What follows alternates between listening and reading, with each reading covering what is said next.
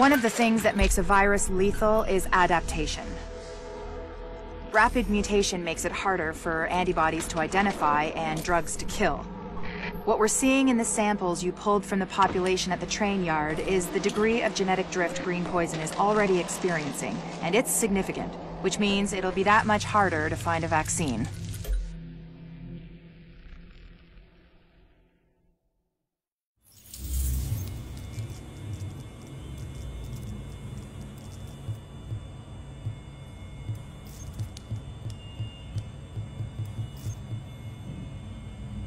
Mm-hmm.